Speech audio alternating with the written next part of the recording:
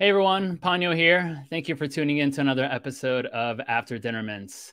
I highly encourage everyone watching to join us in the Art Blocks Discord. A link to our Discord can be found in the description of this video. As always, make sure you like, comment, and subscribe to our YouTube channel so you don't miss an episode of our weekly show. And now, let's introduce our guest for this afternoon. We have generative artist Kelly Milligan. Hey, Ponyo, how are you? I'm doing well. How are you doing, Kelly? Yeah, good. Thanks, mate. Great. Well, I appreciate you being on After Dinner Mints. Um, you know, you dropped this project on Art Blocks Curated just a couple weeks ago called Act of Emotion, which we'll talk about in just a moment. But you know, to kick things off, why don't you tell us a little bit about your background? Yeah, cool. Um, so I, I mostly come from a, a web background, front end web development, um, and then that kind of moved more into creative web development, which is much more focused on sort of like animation and um, and interactions and things like that. Um, I I kind of originally uh, you know uh, moved from from New Zealand over to Europe and spent about five years kind of working on more creative projects over there. Working at a place called Resn in Amsterdam, they do really awesome creative work, and that was really where I was exposed to sort of Canvas and WebGL and those more creative tools uh, on the web and in the browser.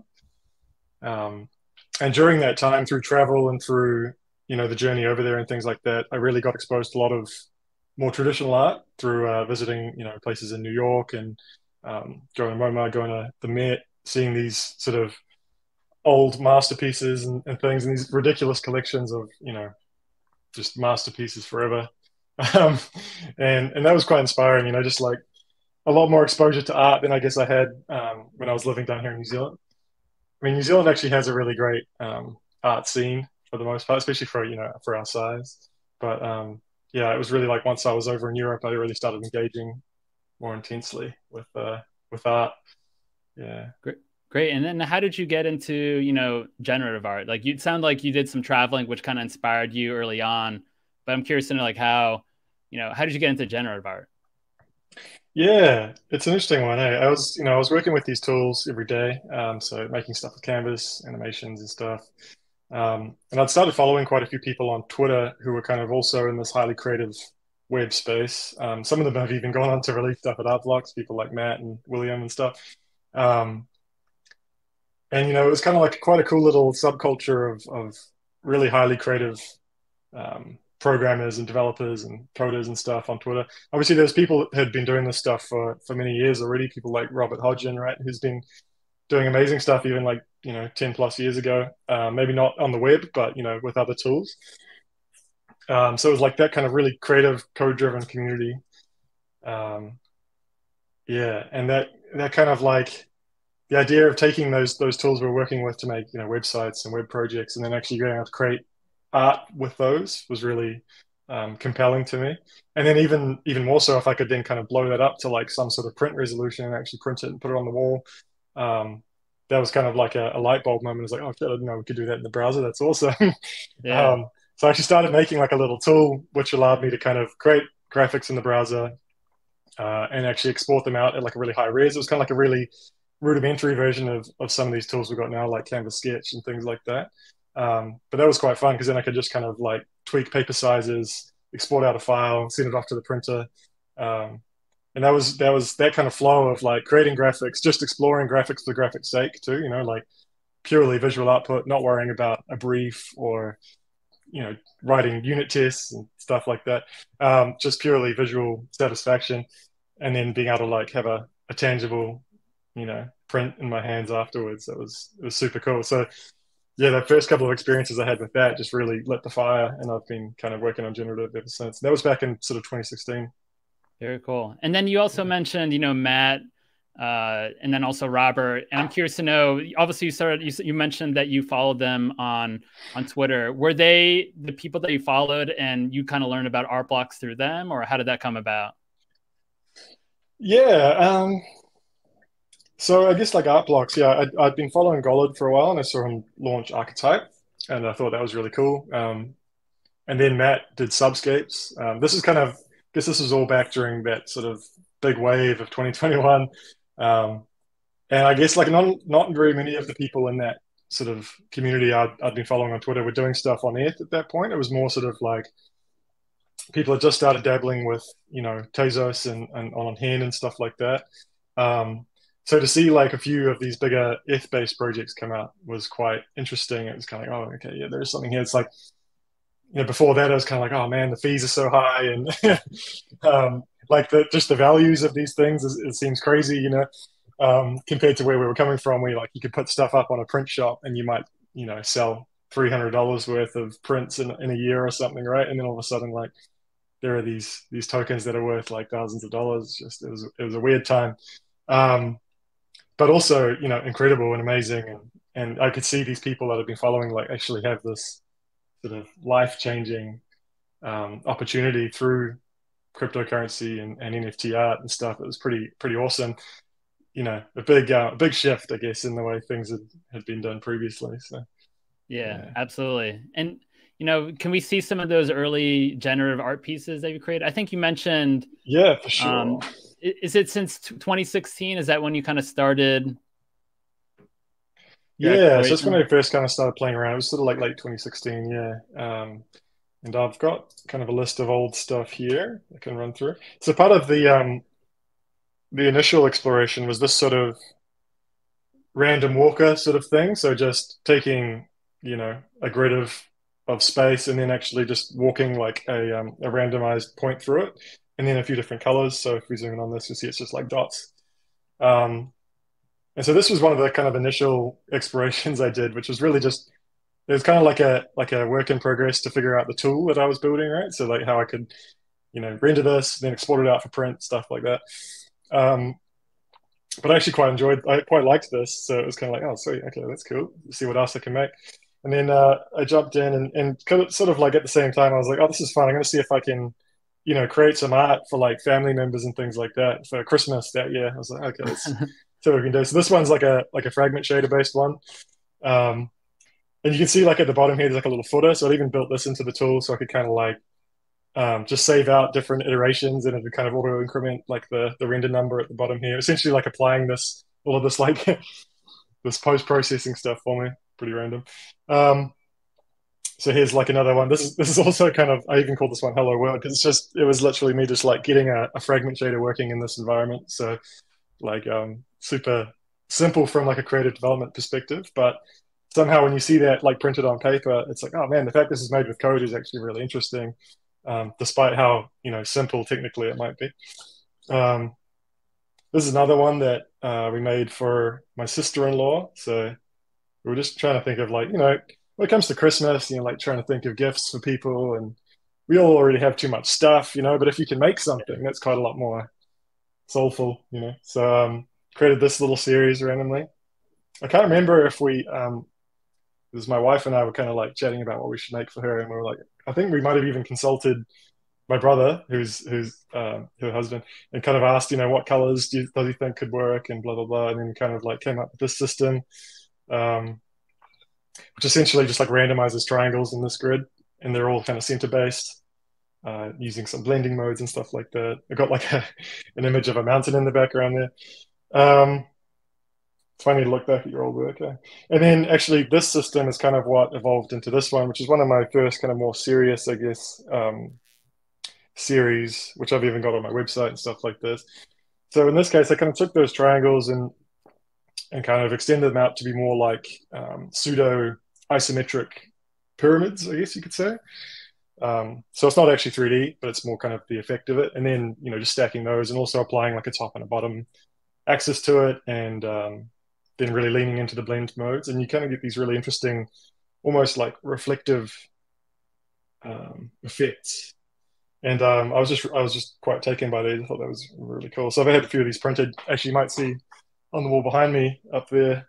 Yeah, I was going to ask about those pieces. Are those all are those all kind of like earlier pieces? Uh, kind of. So I mean, so that one there is like it's kind of one of these structures ones, which is just like a, a really early work. So it's like a nice, just grounding way to think back to my roots. And then over here, I've got kind of more of my like my personal brand, which you might have seen on, on like Twitter and stuff. So that's mm-hmm. it's actually like a real time system where the letters all kind of move around and interact. And um, I use that as like a, a signature system now. So actually, whenever I create a piece of artwork and I, I distribute it, I always sign it with like a, a unique iteration of that. So I can kind of run it and it spits out a bunch of different, you know, unique signatures using the same glyphs. That's um, cool. That's and then cool. the one running on the screen up there is is kind of like another um, series which kind of uses physics, but it's in a very rudimentary state at the moment. But hopefully, at some point, I'll I'll dig back into that a bit more. Um, then I had a couple of others. This one here um, is another kind of early work where I kind of I was just playing around with, you know, sine and cosine and figuring out how I could kind of create like a spiral uh, in 2D, but have it kind of give it like a 3D effect. So um, then I threw some noise in there, and I was like, oh damn, that looks cool.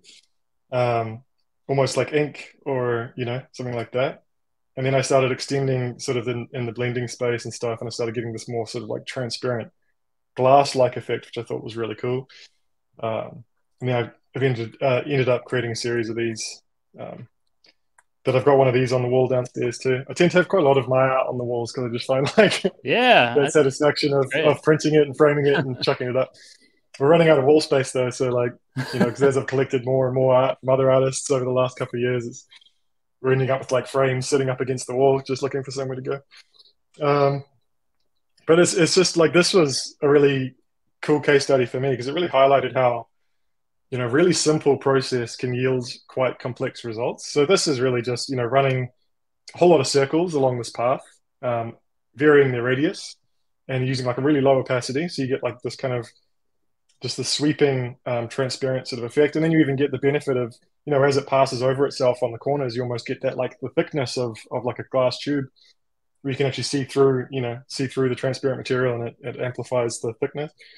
Um, and then i just run like another path over the top which is like just on the top half to give it that reflection on the top. And so it's like you know such a such a simple technical approach can actually yield you know something so interesting. And even these little bits that look almost like you know molten glass or something up here when it kind of stretches out. Yeah. and i was just like damn that's that's awesome. And that's just you know getting to grips with the power of noise and stuff too and how you can use that to make really organic looking and feeling effects. Mm-hmm. um, and then another one which i've ended up you know leaning into quite hard is this really deeply nested noise stuff so this is one of my first sort of uh, you know investigations of that um, this is definitely like a path well traveled. You know, I think IQ, who's like a really well known uh, like graphics developer, he worked at Pixar and stuff. He does all these amazing articles about like how to do stuff with shaders and, and cool things like that. He, he has this great article about um, domain warping and using FBM, fractal Brownian motion, um, and kind of nesting it to get these really complex and, and organic sort of textures. So I kind of took that concept and then kind of like nested it further and further and further and just saw how deep I could go. And I started getting these really um, pretty awesome outputs from it that just felt super unique and super, super organic, super like, you know, the planet, uh, you know, the surface of planets or, um, you know, minerals or all sorts of cool things like that. It kind of almost feels macro and micro, like you're zoomed in really far through a microscope, or you're also zoomed out really far from like a satellite or something. So there's like a really interesting thing there. And um, seeing these on the wall is really fun because, you know, as you go and investigate up close, you see all sorts of different little details and things. This is probably the first really big print that we got done. So we got this done at A0, which was also kind of like a test to how far I can push that that tool of mine. Um, canvases tend to like max out at about 16k on either axis in the browser, um, and that lends itself pretty well to sort of that A0 size.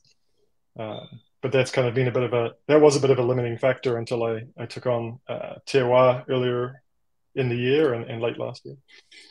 Um, so I've done a few iterations of this now. I've kind of got this Rust series. I've got yeah. one called Terraform, which is uh, it's actually on the wall here behind me. Let's see if I can turn my webcam around quickly. There it uh, is. Yeah, that's a really cool one.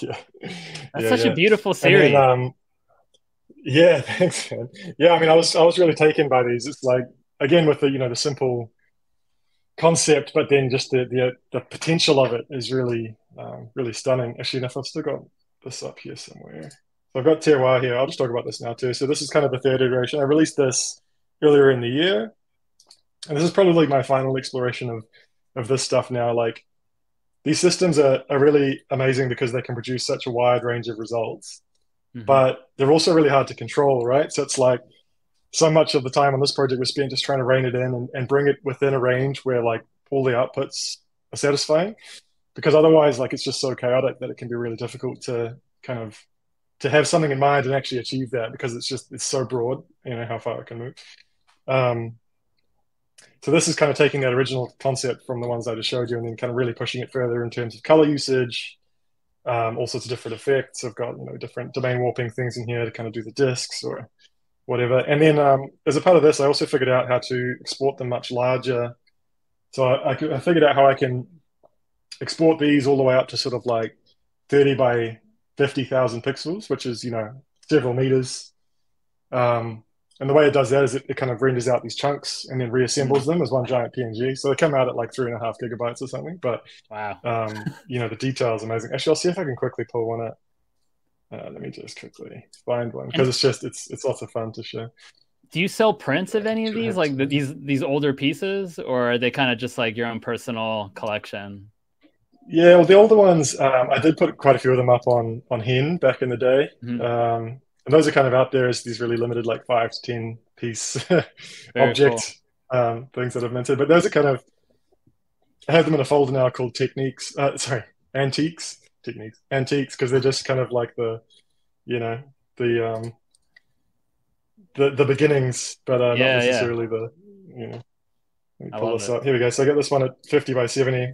If you zoom all the way in, um, it's yeah. it's got like loads and loads of detail, uh, which is really mm. fun to look at in print too because it's just super dense, super detailed. Um, you can really do, you can see the noise a lot more when you look in this close, but at the same time you've got certain things like these ripples here which feel really organic. Um, so this has been you know super fun to explore. Yeah. But as I said, yeah, I think it's probably time to put this one to bed for a little while just because it's I'm kind of craving a bit more control for a change, you know, where it's like I can actually move things more, you know, intentionally in the direction that I want them to go.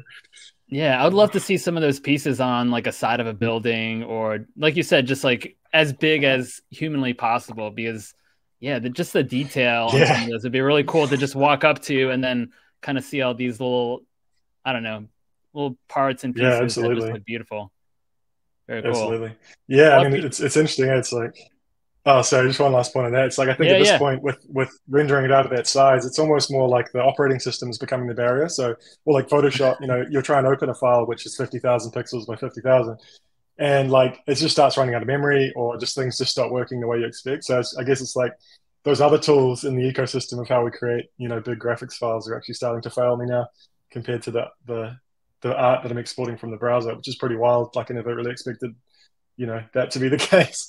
yeah, that's where we're at.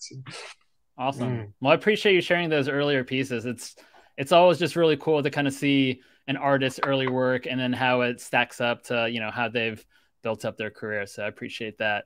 Um, but yeah, I would love to kind of jump into your project drop, which released on Art Blocks, curated. It's called Act of Emotion.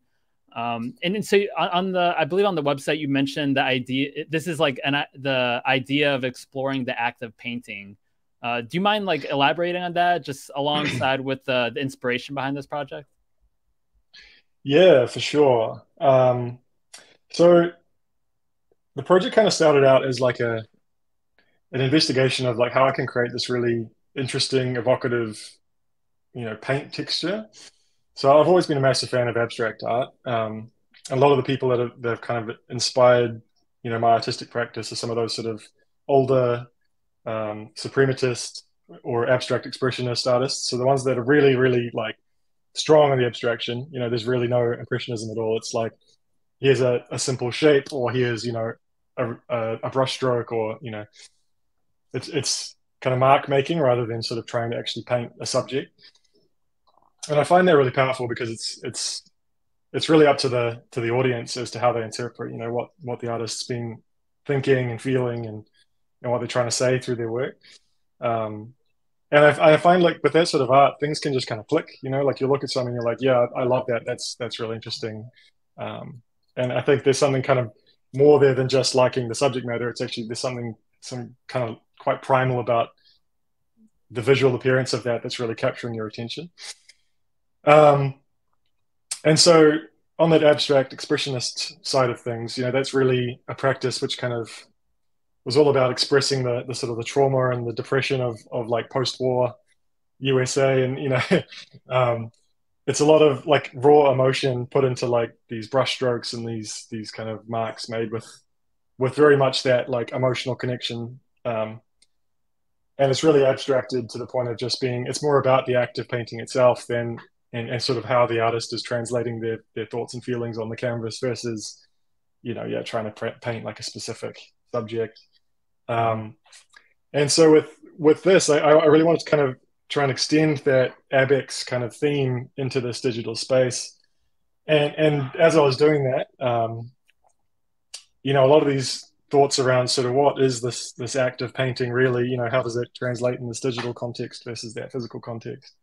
Um, you know, what is paint? Does it need to be this wet media that you know you get out of a tube and you apply it to a canvas? Is that the only form of paint that's really you know artistically sound or can we actually simulate paint a little bit and actually have that that analogous sort of act of painting in a digital space as well um, so all these sorts of thoughts and then that led on to other things too about like you know if it's the machine that's painting it is it still actually expressing any sort of emotion um, am i expressing emotion through the machine by allowing it to paint for me? You know these i feel like there's a lot of concepts here that that's that sparked all sorts of thought as i was working on it. And i really hope that um, as people are viewing it, they're kind of thinking about these things too. Uh, so yeah, the work is very much kind of inspired by like the the really evocative texture of like pigments and paint and wet media and brushstrokes and how that all kind of how that can say so much, you know, just like an abstract stroke of paint on a canvas can can say a whole lot um, because of how expressive the actual material is itself. Um, and so by yeah, digging into like trying to get the texture and the color and the the material looking, you know, somewhat close to real life, um, that kind of allowed me to try and push a bit further into this this evocative and expressive painting in a digital space. Yeah. That's great. And I want to unpack just a little bit about that texture that you've kind of created on this, you know, digital canvas. You know, what's the mm-hmm. process mm-hmm. for generating that specific texture that you've built in this project? Yeah, cool. So if we t- think about just what I was talking about before with terroir, this this kind of really deeply nested noise, um, all the learnings that I kind of had building out these systems over the last several years really kind of gave me the the tools I needed to try and create this more expressive sort of paint as well. So I'd had this thought for quite a while, like, okay, so if I wanted to simulate, you know, oil paint in the way that pigments and stuff will blend together, how would I do that? And I was really stuck on it, trying to think of, you know, a way to do it but then as I got kind of deeper and deeper into terroir, I was like, oh dang, I think this could be a really nice way of achieving that because of how organic, you know, these textures can be even in still form. What if I then took like a a smaller, you know, palette of this and then tried to kind of like run that across the canvas to essentially create like a brushstroke of that of that palette. So I can actually show you here um, how that works. So if yeah, you if you uh, if you hit the uh, tilde key on your on your on your keyboard, you can actually see this in all the live tokens. So, oh wow, there's the little swatch at the bottom, which is the paint, and so this is essentially like one of those little you know deeply nested noise studies uh, with all sorts of different you know possibilities as far as color and texture go. And then the paint brush, which is kind of what's what's moving across the page here. I'll see if I can find a better example. Yeah, this is probably a better example. You can see here, there's kind of this rectangle which is kind of dragging across the page. And this is all happening in a fragment shader. Um, so that's taking that palette and then kind of applying it over time and over space to give it that that brush effect. Um, you can see at the top and bottom here, I've got sort of like light and shadow, and that's applying this sort of faux lighting to the paint as well to try and give it some depth. So you can actually see some sort of reflection on the top parts of that paint, yeah. try and give it, you know, lift it off the page just a little bit. Um, but yeah, when I first I kind of had this thought. I was like, I bet that would work if I could, you know, create a palette and like sample that onto this bigger canvas at like a brush head. I bet that'd look really good. And then um, had like a kind of proof of concept, and I was like, dang, yeah, that effect looks really great. And I think I tweeted that at some point. It must have been several months ago now, but yeah, it was like that was really the light bulb moment. I was like, dang, okay, that's cool. This this is going to work.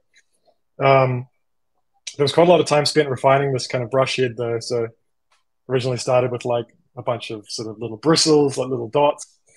uh, eventually kind of moved more towards this just the straight rectangle, and that rectangle kind of um, feathers and adjusts differently depending on the scenario. So you might notice sometimes here it kind of breaks on corners and things because, um, you know, if, if you just kind of always have it rotate perfectly with whatever direction the path's going, it just it kind of breaks down this effect of it actually being raw and organic and applied by hand because it's just perfectly precise, right? Um, so quite a lot of refinement went into sort of just breaking things up to make them feel a bit more organic. Um, I think these little ones are a great showcase of sort of how that brush texture can can work out. When you just add like a bit of rotation, right, you get quite a lot more of this mm-hmm. This effect of an actual sort of stroke where you've twisted the brush and you're getting like different thicknesses of paint at the tips and stuff like that. Um, so yeah, it's honestly I think about eighty percent of this project was like refining that proof of concept after I'd figured it out. It was it was like cool, the effect works. Now I've got to actually make it look good and uh, handle all those edge cases that kind of break down the effect a bit, you know. So yeah. yeah. I'm curious to know how do you so for this type of project, obviously there's so much time and detail that kind of went into it. Like how do you know when this project is, you know, complete, when it's ready to to launch? Is there like a defining moment or is it more of just like, you know what, I've done as much as I can do. I'm happy with it and let's just see what happens. Yeah, it's an interesting one. I think a lot of generative artists kind of struggle with this because there's always so much more you can do. Maybe artists just more generally. Um, I guess when you hit that point where any further addition kind of potentially just starts subtracting from the overall whole, you know, that's that's a good kind of sign, I guess. I think also maybe just your general feel towards it is probably a good barometer, right? It's like I think this is looking really good. You know, I'm happy. I, I, addressed all these little things that I had in the back of my mind that I wasn't happy with. Um, there probably is more I could do with it, you know, but at this point, I think it's it's saying what I want it to say, um, and I think it's time to put it to bed. You know, it's yeah. like the other thing too is, is that there's only a finite amount of time you've got to explore all these ideas you might have, and, you know, you can't just um, continue on the same path forever. You got to kind of continue on and keep growing and evolving and working on new things. And um, so, I mean, I'm really happy with how this turned out. I think it's it's better now than what I had initially envisioned, even, which is which is awesome, and that's a, an amazing thing to be able to say.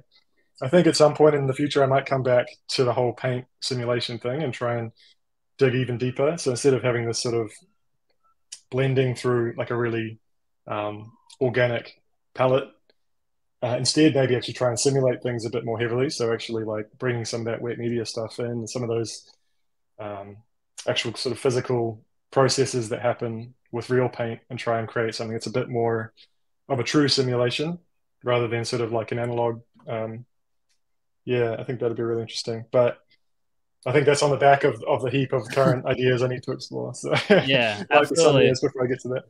Well, I think yeah. kind of the beauty with this project for me is just like how it's being rendered live. You know, you're seeing those brushstrokes kind of like paint over that canvas how did you land on you know the speed of the actual rendering? Because I'm sure that's just got to be you. You don't want it to obviously go too fast. It's almost like I feel like the speed you chose was perfect because it's almost a you know kind of like a meditative feel to it.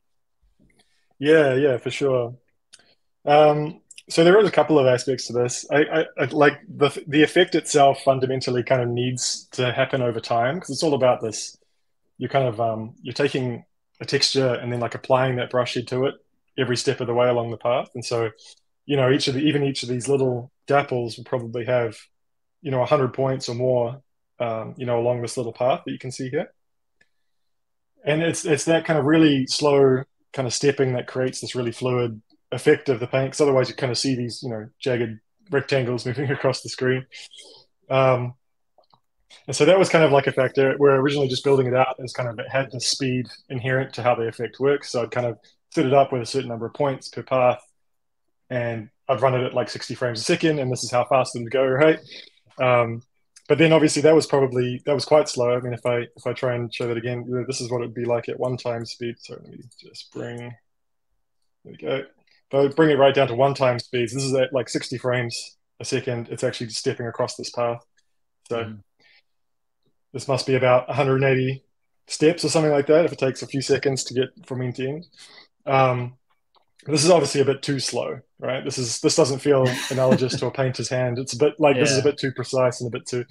Um, so then what I what I ended up doing is actually just kind of multiplying that speed, um, and it is just literally running that process like more than once per per frame essentially to, in order to speed it up. Um, and so that then actually increases the processing power required to do it. So on this this MacBook of mine, I can step it up quite far, even at this high res. This is sort of like three by four thousand pixels or something. Um, I could get it to run at sort of this four to five times speed, which is sort of the the speed which I think works best um, visually. I, I, do like that meditative feel of it because you know it does make it feel a lot more sort of intentional, and it really it really brings focus onto the fact that these are like simple forms. Um, it's a machine, you know, applying them, which is kind of the unusual part of this process.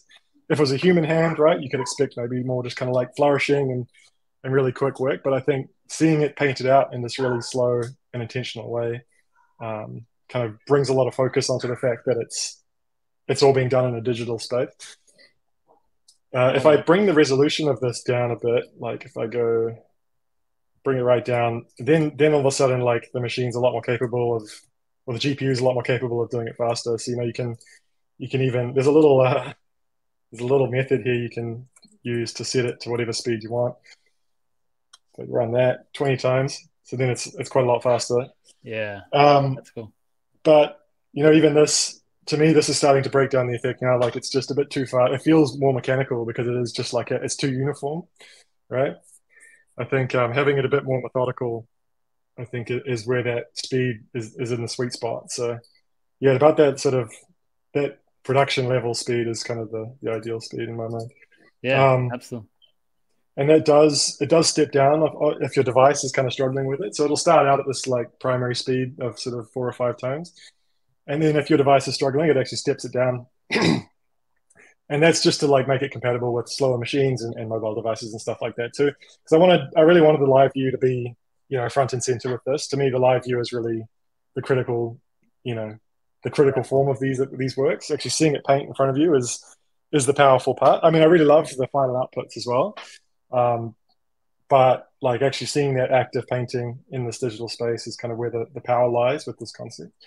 And so, yeah, it was important to me that, you know, even if you're viewing it on a mobile, you kind of, you get to see that, that performance acted out in front of you.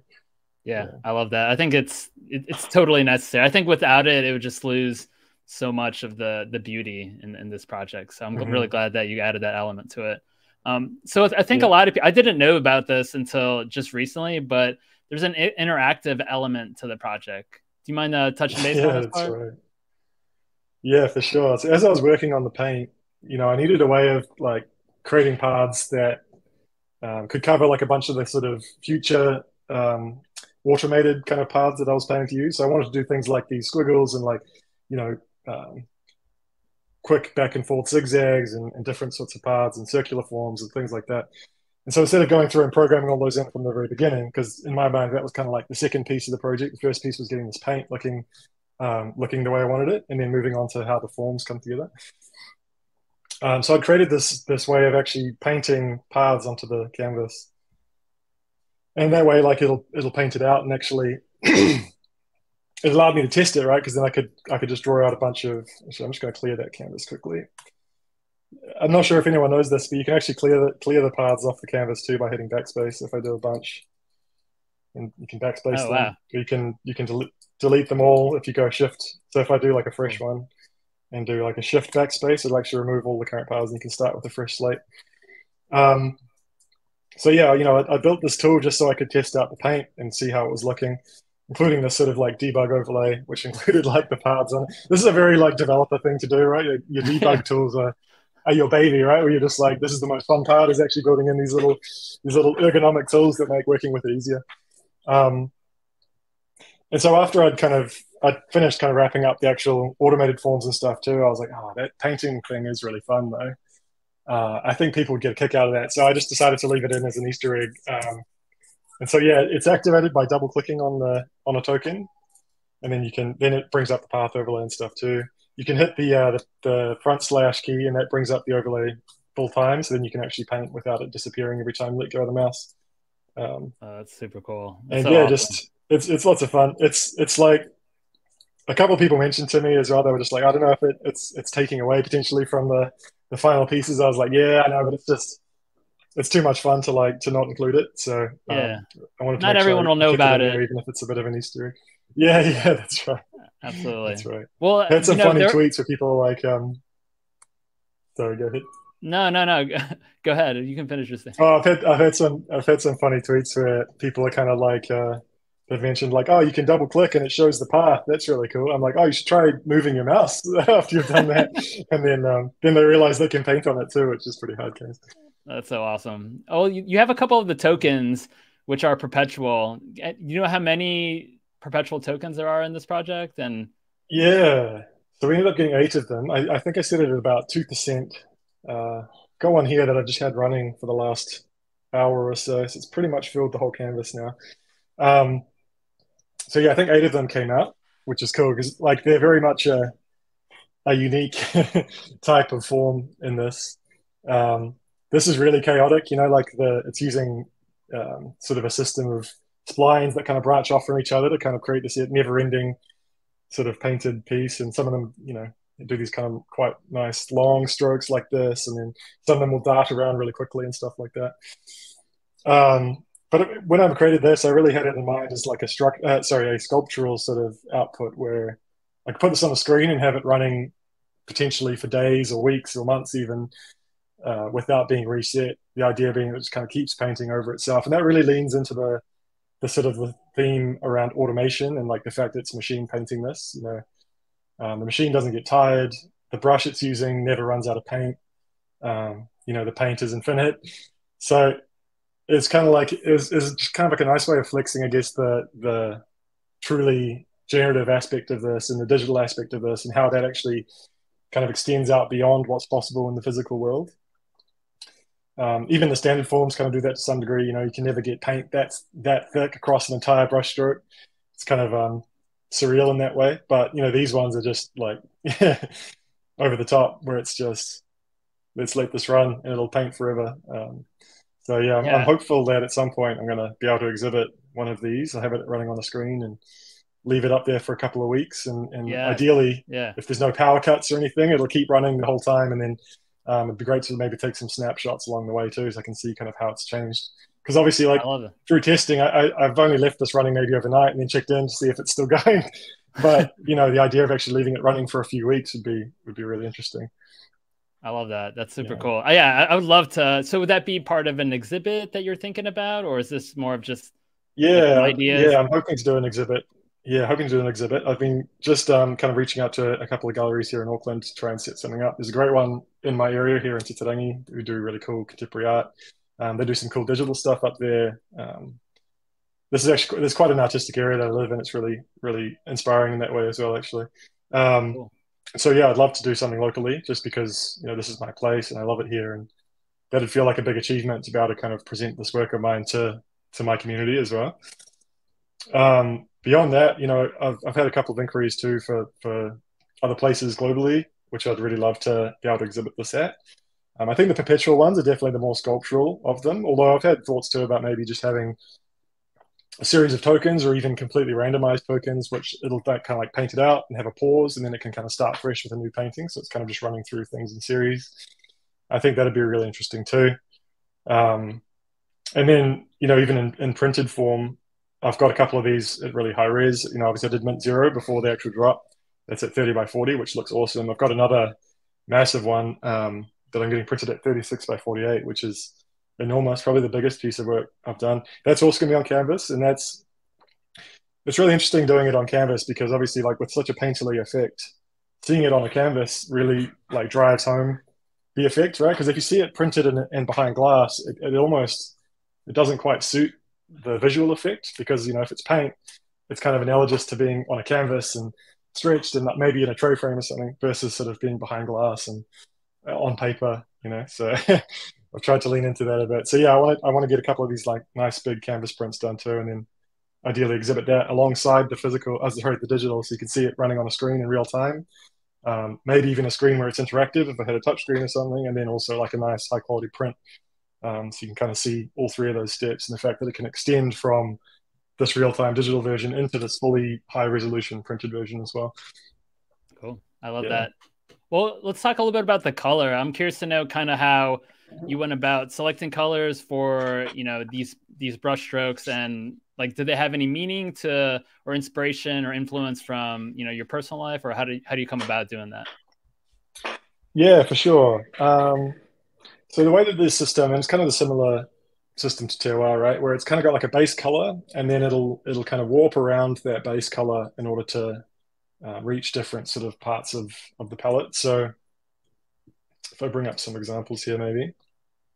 Um, so for example, like this is sort of like a red base, and then you can see it kind of moves all the way through that range of sort of slightly warmer, slightly cooler, darker and lighter around that base to kind of give it that that depth and richness of color.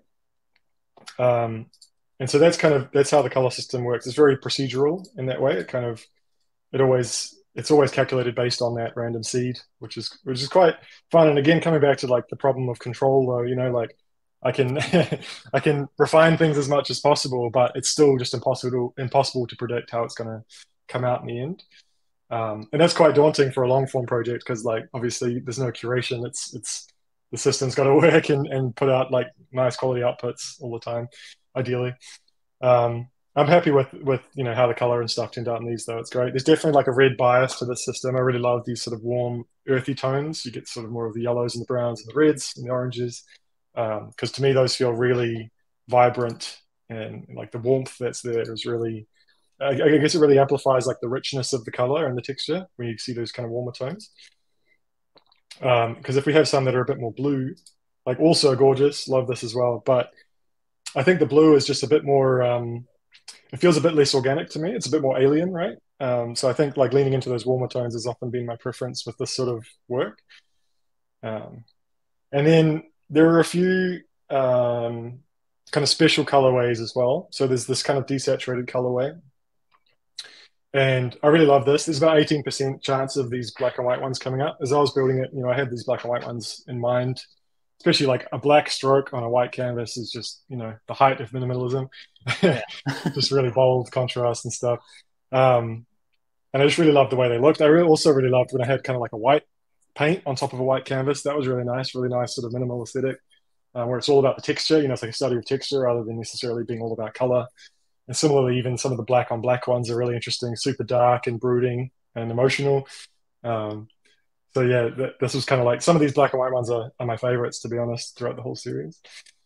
And then um, there's also the kind of the royal colorway, which kind of blows out the the blue channel quite a lot. Um, so it's still procedural, but it takes kind of the top end of the of the blue range and really amplifies it. So if if, if the, the you know the dice roll comes out as the blue channel being you know close to 100% or whatever, between sort of like 95 and 100%, it really amplifies that blue effect so that you get this much more sort of blue purple um, range of colors. And and I think like it's just really interesting seeing such bright blue. You know, there's a lot of kind of art history there about blue pigments being really valuable and difficult to find and things like that. And um, you know, especially in like I think it was like in the 80s or whatever, where they, they kind of established this new form of blue, like Klein blue or whatever, which is kind of it was like a game changer as far as how bright of a blue you could have in paint. Um, so it's just kind of interesting seeing seeing these sort of super bright in your face blue outputs as well. Um, but I wanted them to be quite rare, so it's they're definitely sort of the most restrained as far as chances go. Yeah. That's great. That's awesome. Well, let's talk a little bit about, you know, these different features that are a part of this project. I know you have a couple examples that you're going to share as well. Yeah, yeah, for sure. Um, I might just run through these these examples as well. Yeah, oh, please do. I might run it. I'll run it live. Let's do it live. Great. So um, this is this is called the Dapple style one, and this has a this has a couple of different um, arrangements. It can just have like random random dapples, like we saw on this one just over here. So this is still a dapple, but it's it's not kind of structured into that radial uh, composition. So these are just randomized. They're kind of placed using Poisson disk, so you get this kind of nice uniform distribution of them across the canvas. They don't overlap or anything like that. Um, and then this is an example where they do overlap slightly by bringing that density in, and they're also all just kind of pointing towards the center of the canvas, and that gives you that interesting effect of sort of like a, a burst of paint strokes kind of coming up from the center. These ones take quite a while to paint too, so it's kind of fun to watch them because they're just lots of little lots of little bits. Um, then I've got these jazzy ones. So, you know, after I created the paint, I was kind of thinking about all the different forms I wanted to do. I definitely knew I wanted to do these kind of like straight lines with a bit of a wiggle in them. I wanted to do like little dapples and things like that, but I wanted something that was a bit more expressive as well. You know, a lot of these sort of like Abex action painting style pieces are much more um, raw and you know like a lot more expressive with the actual form of the brushstroke. Um, so I wanted to try and explore something like that too. So I kind of came up with these these spline driven ones, which use um, yeah, these cardinal splines and different tension levels to kind of create these big swooping forms and things like that. And I really love these. I felt like as soon as I started seeing them, I was like, this feels kind of like a. For some reason, it just it just resonated as like jazz improv in my brain. So that's that's where the kind of the jazz theme came from, I guess, both for those forms and then kind of I rolled that out across the other forms as well, but um, with pitter patter and stuff like that. But um, yeah, the jazzy forms are some of my favorites just because they're they're they're still super minimal, but they're just they're really flowy and really um, really satisfying. I've got I've got these kind of simple line based ones, um, and these have like a bit of noise thrown in to try and create you know a bit more of a human touch as far as how the paint's actually applied. You have to be a very precise painter to get like a perfectly straight, unless you got like a roller or something.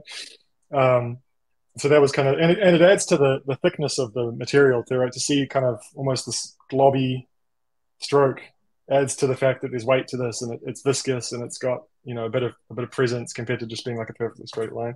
So quite a lot of time was spent just trying to like move away from precision in this and actually make it feel a bit more, a bit more random and a bit more loose, um, to make it feel a bit more human. You know.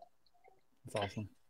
Uh, it's another jazzy one. With the jazzy ones, they can be inside or outside the frame. So there's all sorts of like different parameters inside each form too. You know, they can extend outside the frame. They can be within. This one, you know, has a different number of strokes for these pillars, for example. Um, here's one which is the ranges, which basically just extends across the entire canvas. I'm not sure if you can hear that in the background. It's my uh, my son crying down there, but it's all right. um, it's real life, man. It's improv um, right there. so, the, yeah, yeah. So these are quite rare. I, I, mean, I really like these. I think that like they seem to resonate really well with the audience too, which is which is cool. But these, I called these ranges because to me they, they give me a real sort of landscape vibe. You get these rolling hills, this effect of rolling hills and distance and depth and it's amazing like it's the same you know the same effect but applied in a different form can create a much different um, sort of presence and, and perspective. Uh, these ones are called pitters originally called the marches because to me these just feel like like some sort of abstract like marching movements almost like swinging arms and legs and things like yeah. that and i really found that really awesome. When i first kind of stumbled upon this i was like oh that's that's so cool um, the marches, yeah. And so these ones are just like quite simple horizontal strokes, quite short, but they really curl at the edges, and that's what gives it that sort of effect. So with the way that the brush head rotates with the path, as well as the paint palette rotating with the path, um, you really get a lot of that sort of. Um, oops, let me reset this. You get quite a lot of that that movement of the paint, and you know that that kind of viscous mm-hmm. nature of it, which I really love. What else we got? We've got um, these ones are called patterns, which are just really nice straight lines. So this is like this is kind of like my minimal viable product as far as getting the actual automated forms going. So I had this kind of these just rows of simple straight dapples, and I was like, cool, this like this is a great way of both testing the paint, but also showing how compelling you know the effect can be that I can get this this richness of color and texture with what is essentially just like super simple rows of strokes. And like, you know, while that's definitely not in line with Abex, that's much more like minimalist style painting. I wanted to keep that in because I think it really uh, highlights the tension between sort of like a machine's precision and like being able to, you know, perfectly align things and then sort of that more human gestural, you know, flourishy sort of stroke. Um, and these range from sort of quite quite structured and quite straight to quite out there and all over the place. Um, let's see if I can find an example. Oh, here's one. So here, same thing, right? So it's still a pattern, but this is like really broken outside of the grid at this point, and it creates these much more abstract sort of um, compositions where it is still just a bunch of vertical strokes, but in a much more, um, I guess, evocative form. And what I really like about these is they actually kind of lend quite a lot of three dimensionality to it. So you kind of once it's finished painting, you get quite a lot of a three dimensional feel out of these. It feels like this stuff in the background and the foreground. And it's amazing how just breaking it out of the grid can create, you know, that sort of depth effect. Um, just trying to think there's any others. Cheers. There's obviously the there's the perpetual ones which we talked about. Mm-hmm. Um, no, not that one. Well, yeah, I, so I don't ones, know if there's. Yeah, go ahead. These ones are. This is like this this system which paints forever, but I also use these in, in what's called like the improvised form, um, which is just kind of like a more finite version of this, where it takes the same kind of approach of branching off from the previous path to create a new one, um, but then it applies it. Um, I don't think I have an example of that up here, but we'll see if I can find one quickly. okay, yeah, no problem. Just doing it live. This was also a really useful tool to be able to like visualize the paths as I was developing. Right, yeah, so I, I was gonna say of, that's a great way. Oh, that's a it. perpetual. Oh man, that's a beautiful perpetual one. Look at that oh. blue. Um, might not be able to find one, but um, those were like a lot more abstract because that that really is leaving quite a lot of it up to chance. Where it's like instead of having like a start position and stop position, it really is just leaving it up to sort of the branching algorithm to to make for a, an interesting composition. Uh, not sure if I'm going to be able to get one. Quite low probability. There's one. So you can see here the paths. They're they're already predefined, but um, so it kind of spits out a bunch of these different branched splines um, off of each path, and then that'll paint it out. Some of them are, are quite abstract, as if you look through the ones that have come out as this form, but some of them are quite cool too. You get like almost um, sort of like stick figurine style shapes, or you know things mm-hmm. that really look like they're in motion because there's just there's something inherently recognizable to seeing a form, you know, in something like this. You're like, oh, that looks like a person's arms, or that looks like, you know, something in action. Um, that's quite fun too. It's a bit less well defined than you know just like dapples or lines, or it's it's it's kind of much more up to the machine to to try and create something interesting, or the randomness, I, I suppose I should say. Um, yeah. Well, I, I, noticed also. I think it was on the website, or maybe on the somewhere in the the channel where you mentioned that there's like a a 36 i know you kind of talked about hinted on it like earlier on about a 36 by 48 print option. Is that something where you know people that hold the token are they able to to order a print using that? Yeah yeah exactly yeah. So if you hold a token um, i allow you to order a print. Um, you've got to come you can just message me directly to, to get it started. So i need to export them myself because I, I, kind of stick the algorithm into like print mode which then scales everything up to like a really high res and it's really slow you know it'll take upwards of half an hour to render some of them just because it's uh, you know, yeah. rendering it at like 16,000 by something. um, and like even that little paint swatch at the bottom right, that goes from sort of 512 pixels up to sort of like 4096, you know, so it's super high res. Um, and so you can imagine if that's doing that 60 frames a second, it's that's a lot of rendering. So the fan on my MacBook on fire when that's happening. Um, but yeah, so 36 by 48 is kind of the max I could do for this series uh, unfortunately, unlike TOR, since this kind of paints over time and actually it kind of applies to this this buffer texture, so it keeps like ping ponging between the previously painted frame and the next frame you're painting. I can't quite like extend that up to that full on, you know, maximum maximal. Can't even open it in Photoshop size, but you know, 36 by 48 still lovely and, and big. Um, it looks great printed. You can actually see when you look up close at that size. I've actually got one here. I can quickly zoom in on. Uh, you look up close at that size, you can really start to see some of the the details of the effect and how that um, kind of reveals itself, which I think is quite fun. Mm-hmm. Definitely. Um, let me just get this up. Here we go. So here's Mint Zero. Um, and this is something I can do too. If someone is interested in the canvas print, the way that I've done Mint Zero, I can um, kind of stick the algorithm into this specific mode, which essentially just adds this extra space around the sides and that allows you know allows room for stretching of the composition around the frame. So you know you might have a you might have a composition which runs sort of top to bottom like this, top to bottom. Um, and essentially, if this is printed, that's fine because you know it can crop to the paper. But if it's on a canvas, I actually need to kind of create additional space above and below so that it can be stretched around you know the canvas frame. Um, so I can I can offer that as well. And then if you zoom in on this, you know you get these these really awesome awesome details. And if you go right in and if you stand right in front of it and look up really close, you can see like quite a lot more of how the background texture is working. This kind of recycled paper thing. Um, you can even see this kind of chattering of where the brush head's kind of moving moving through. Um, and that's really interesting. It kind of bugged me at first, but now that I've I've seen it in print, I actually love that it's there because it really showcases the effect and sort of the digital nature of this. While still, if you take a step back, you get this much more, you know, smooth and fluid uh, version of it. So it's it's quite interesting to be able to kind of get up close and inspect that detail as well. Yeah, you really nailed it with all the details. So I'm excited to kind of see collectors, you know, get these prints made, or for you to have an exhibit and to kind of just have these out in the world. I think that's that's super cool. Yeah, for sure. Well, maybe we, I know we're getting there on time, but maybe you could spend a couple moments yeah. kind of just talking about some of your favorite mints or maybe some mints that kind of surprised you. Yeah, yeah, totally, man.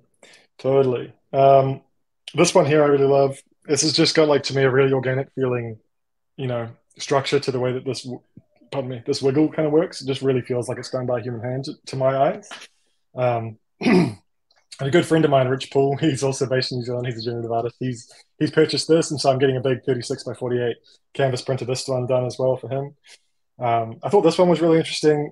There's like a real sense of depth with this because it starts out dark at the bottom here, kind of gets lighter and lighter, almost like it's emerging from sort of like a, a dark space, and that's purely incidental, just how the palette kind of ended up randomizing. But I think that effect is, is quite emergent, quite interesting. It's kind of similar on this one here.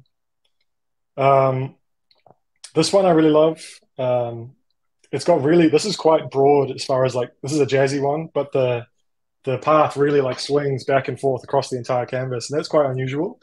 Um, and so this this feels really interesting and unique to me because it's got these really yeah these really wide strokes and feels very very fluid and natural as well. But also it's kind of cropped in to the point where you know you'd be running off the canvas if you're painting in this way. But the fact that it has kind of achieved that is really interesting. I love these really minimal compositions. Yeah, I think I highlighted this on Twitter in a thread I just did recently. Like the height of minimalism. Love the fact that it steps from this really dark, kind of charcoaly black through to sort of a lighter color, and that's also by chance. You know, so it's the the texture and the color of that palette actually changing in a really um, incidental and um, pleasing way over the course of painting the four strokes. Similar with this one. Um, excuse me. I really like this. this one's just really unusual because it's just so simple, right? Just like a little squiggle down the page. Showcases how, you know, on these sharp turns, it breaks at the corners, which kind of gives it the effect of actually painting individual strokes down, you know, the page rather than just being one fluid stroke. Um, this one here and this one below it, in my eyes, are just gorgeous black and white outputs I'd really love for these two to be to be exhibited side by yeah, side at some point in time because they're they're perfect, both the form and the like the opposite contrast, and just oh, they're gorgeous. Love them. This one's really unique. I see kind of like weird visceral sort of you know guts kind of things, but also like a bunch of grapes. There's all sorts of weird things you could see in this, like a chili pepper. I don't know. It's it's bizarre. Yeah, it's kind of a very it's a very strange form that one. Um, this one's just like electric with the blueness, which I really like. Um, this one I really love. It's just like a really nice dark on dark. It's quite imposing, but it's it's uh, yeah, it's it's bold, really bold. Uh, I love this one as far as just the contrast and the texture. I think this one's just really well balanced. I think this would look really, really awesome in print. So whoever owns this one, you should hit me up. We'll make it happen.